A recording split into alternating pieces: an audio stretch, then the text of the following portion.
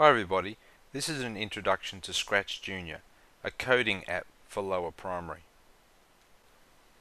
When you open the app, you'll find an introductory video outlining some of the basic features of how to use Scratch Junior.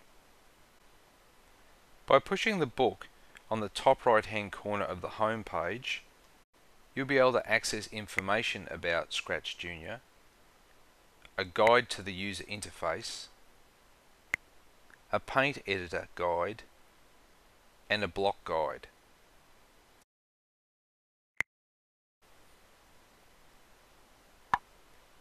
We're now going to start our first project by pushing the plus sign.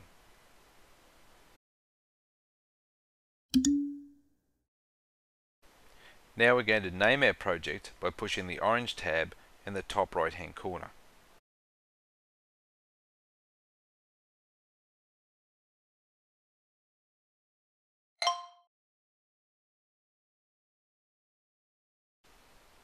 To add a background to our project we push the picture icon at the top and select the appropriate image. Now by pushing the coloured blocks at the bottom, we can access the code that will make up our project. First we have the yellow blocks that will trigger an action. The blue motion blocks.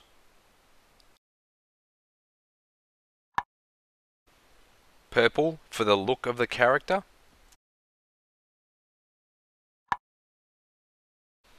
Green for sound.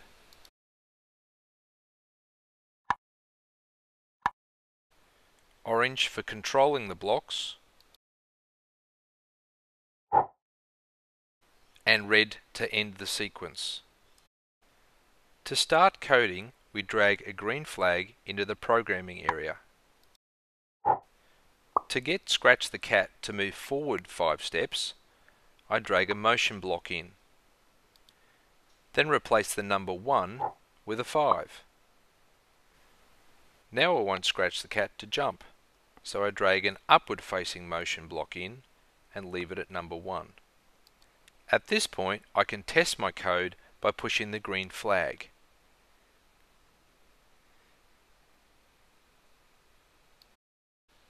I'm now going to add more motion blocks to get Scratch the Cat to jump down again and then take 5 steps back to the start.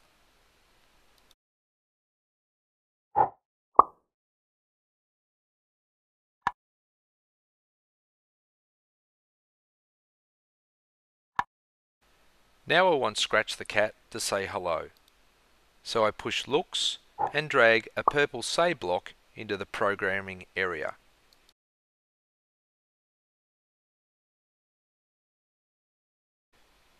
Now I'm going to add a control block because I want this sequence to repeat three times.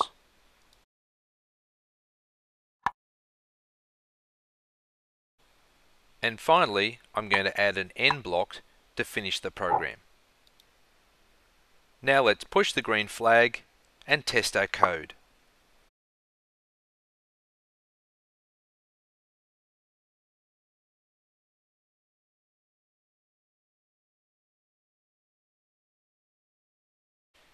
That's a quick look at Scratch Junior. I hope you have lots of fun programming all your stories.